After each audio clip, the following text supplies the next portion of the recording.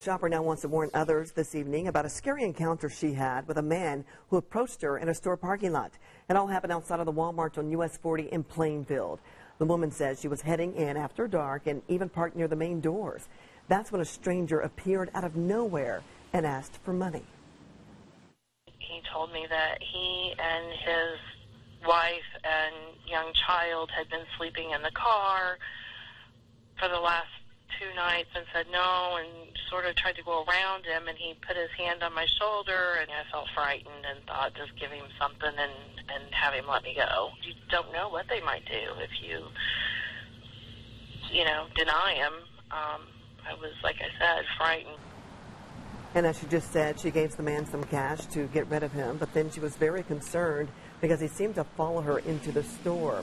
Now, she posted her story on social media today after another woman claimed a man with a child took items from her car in the very same parking lot.